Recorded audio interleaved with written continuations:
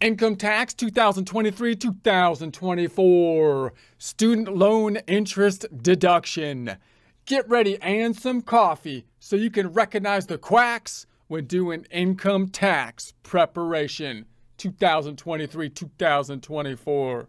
Most of this information can be found in the instructions for Schedule 1 section of the Form 1040 Instructions Tax Year 2023, which you can find on the IRS website at irs.gov, irs.gov. Looking at the income tax formula, we're focused on line 2, adjustment to income, which you might hear called above the line deductions or Schedule 1 deductions. Remembering, the first half of the income tax formula is basically a funny income statement. Most income statements having income minus expenses resulting in net income. Here having income minus deductions resulting in taxable income. Noting deductions for taxes are good, therefore, we're constantly looking to increase deductions. The primary difference between deductions being two categories adjustments to income or above the line deduction versus the below the line deduction, the greater of either standard or itemized deductions.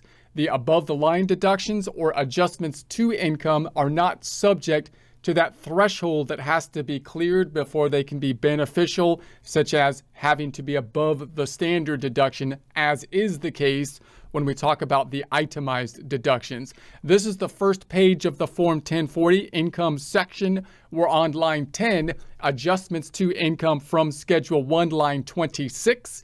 This is the Schedule 1, Part 2, Adjustments to Income. Our focus this time on line 21, Student Loan Interest Deduction. All right, so line 21, Student Loan Interest Deduction. You can take this deduction only if all the following apply. You paid interest in 2023 on a qualified student loan. So note, when we think about student loan interest, how does this take place? Clearly, what is the government trying to do? Incentivize education. What actually happens? They end up subsidizing education, which increases the price of education. First, a word from our sponsor. Yeah, actually, we're sponsoring ourselves on this one because apparently the merchandisers, they don't want to be seen with us. But but that's okay, whatever. Because our merchandise is, is better than their stupid stuff anyways. Like our Trust Me, I'm an accountant product line. Yeah, it's paramount that you let people know that you're an accountant. Because apparently we're among the only ones equipped with the number crunching skills to answer society's current deep, complex, and nuanced questions. If you would like a commercial-free experience, consider subscribing to our website at accountinginstruction.com or accountinginstruction.thinkific.com. And that's why we have these very high uh, tuition fees and whatnot. But the general idea, try to incentivize education. How? Well, when people take out loans in order to pay for education, we can give them a tax benefit on the loans once they start repaying it, giving the interest portion, which is kind of like the rent on the loan, a tax advantage standpoint where you might be able to deduct the interest. Now, quick recap of the income tax system and the types of deductions that are natural to an income tax system. In other words, if we tax income, as we do in the United States for federal income tax purposes, it would make sense not to tax gross income, but rather net income, which we can see when we look at business income, such as a sole proprietorship typically reported on a Schedule C, where we have income minus expenses, basically business deductions, to get to net income. It would not make sense to tax the top line of the Schedule C because if you had to expend money to generate that income, then you should be taxing the net income, the bottom line uh, of the income statement. When we think about most people that are employees, the idea there is they don't have any deductions because the employer is the one that are making the expenditures necessary in order to help them to uh, generate the revenue. Now, when we look at interest, then, how does interest fit into that scenario?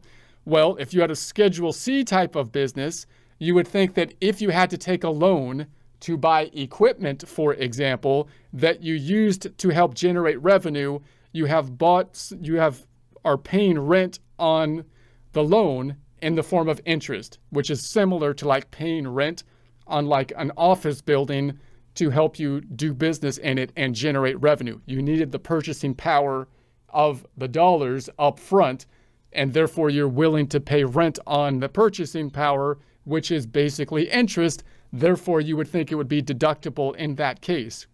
However, if you buy personal things like a personal car or credit card expenditures, you would think that those things would not be deductible if you bought personal stuff with them because it's not a business expense. You didn't need to pay the rent on the loan in order to generate uh, the revenue.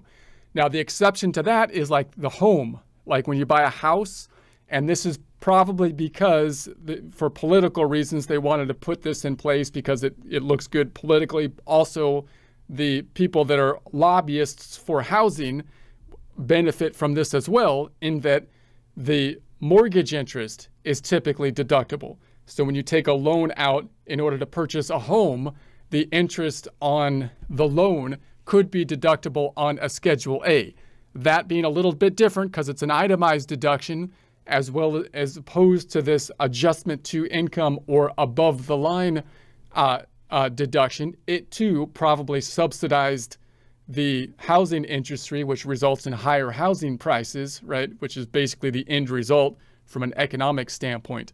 So the same thing is happening here to we're going to take the loans out and then when you pay back the loan, then possibly you get a benefit uh, by being able to deduct the interest on the loan, this time as an above the line deduction. To do that, you would have had to have a loan that qualifies as a student loan. So then the question, of course, comes up what qualifies as a student loan?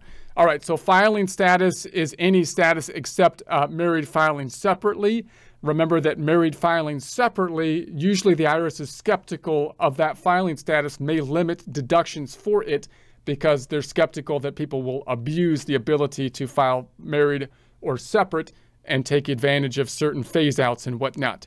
So your modified adjusted gross income AGI is less than $90,000 if single, head of household or qualifying surviving spouse, 185,000 if married filing jointly. So we have an AGI limitation. Remember that when we think about AGI limitations, we're thinking about basically income limitations. The idea being, well, if you get more income than that, or if you have a, a really high income, well, then the degree that you got paid off, right? Because now you, are getting a high income, and you would think in that case you would be able to pay back the loans uh, that you took, including the interest, without basically a tax, you know, benefit or incentive from it. Uh, would be the general idea.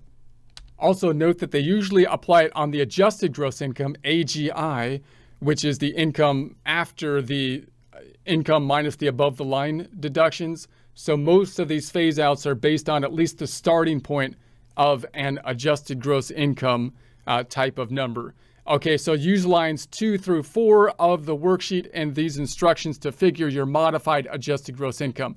Why does it say modified? Well, they typically start with the AGI and then they modify it from there. In part, you kind of have to consider this one because the deduction is an adjustment for income meaning it's it's going to be an above the line deduction which will have an impact on adjusted gross income so we'll have a circular reference when we try to figure out this phase out thing if we don't make some kind of adjustment to the adjusted gross income we'll talk more about that in the software example in a future presentation. So you or your spouse if filing jointly aren't uh, claimed as a dependent on someone else's such as your parents 2023 tax return. So don't include any amount paid from a distribution of earnings made from a qualified tuition program, that's a QTP, after 2018 to the extent the earnings are treated as tax-free because uh, they were used to pay student loan interest. Use uh, the worksheet and these instructions to figure your student loan interest deduction. Exception publication 970 instead of the worksheet and these instructions to figure your student loan interest deduction if you file form 2555 because that you might have foreign income in that case which often complicates the calculation or 4563 or you exclude income from sources within Puerto Rico. All right, so let's get into then what is a qualified student loan. So remember that when you take out the actual loan, that means you're taking out the loan and getting the money. When you're paying back the student loan, that might be at a point in time after you've already gone through school, right? Because at that point in time, now you're paying back the student loan uh, with the interest. So you're typically thinking about someone that possibly was in school or maybe is still in school, but now they're repaying uh, the student loans, but they had to be loans that were qualified student loans if you possibly can get the interest deduction. So what does that mean? A qualified student loan is any loan you took out to pay the qualified higher education expenses for any of the following individuals who were eligible students. So number one, yourself or your spouse. So that should be fairly obvious, right? It was for you or the spouse. Number two, any person who was your dependent when the loan was taken out. So somebody, in essence, basically on your tax return. So this is the student loan deduction worksheet. I won't go through it in detail here because in a following presentation, we'll take a look at it in the tax software and see a little bit more of the calculation then. Uh, three, any person you could have claimed as a dependent for the year the loan was taken out, except that A, the person filed a joint return, B, the person had gross income that was equal to or more than the exemption amount for that year or 4,700 for 2023, or C, you or your spouse if filing jointly could be claimed as a dependent on someone else's return. However, a loan isn't a qualified student loan if any of the proceeds uh, were used for other purposes. So clearly, if it's a student loan and you took out the loan and bought a $100,000 car with it, you would think, well, that shouldn't qualify. What are we trying to subsidize there? We're not trying to subsidize you buying a $100,000 car and whatnot, that kind of, you know. So, in any case, the loan was, was from either a related person or a person who borrowed the proceeds under a qualified employer plan or a contract purchased under such a plan. For details there, you can see publication 970. Qualified uh, higher education expenses. So usually it's fairly straightforward, higher education typically being in college, but we have a bunch of other institutions that you know would be questionable as to what about a trade school or something like that. And we see that the higher education seems to be going to heck in a handbasket or something. So the, is there any other? I, what if I have some other school that might not drive me insane that I can go into? And could I get my loan and have it qualified there?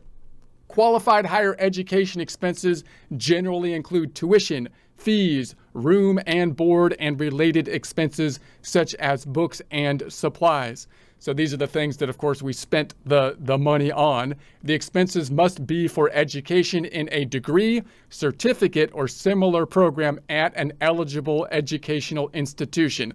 So this, so clearly an eligible educational institution, usually we're thinking basically a college uh, in that instance. And again, what are the types of things that you can spend it on? Qualified education expenses generally include tuition, obviously, fees, that makes sense, room and board, that's more in- inclusive than some other areas of uh, educational expenses and related expenses such as books and supplies. Okay, an eligible uh, educational institution includes most colleges, universities, and certain vocational schools. So certain vocational schools are added there, which so you can still keep your sanity and not let the, the major colleges drive you crazy or something and possibly still get some subsidization for that. So for details, you can see publication 970.